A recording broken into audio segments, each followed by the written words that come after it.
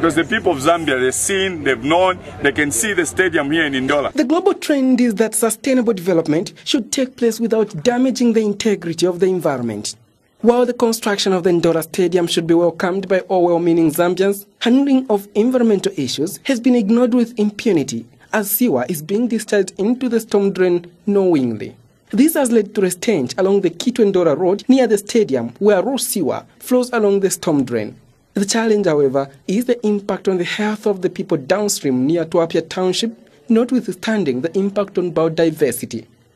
The Environmental Protection and Pollution Control Act under the Environmental Council of Zambia ECZ and the Water Supply and Sanitation Act under the National Water Supply and Sanitation Council NWASCO do not permit any institution to discharge raw sewer into an open environment.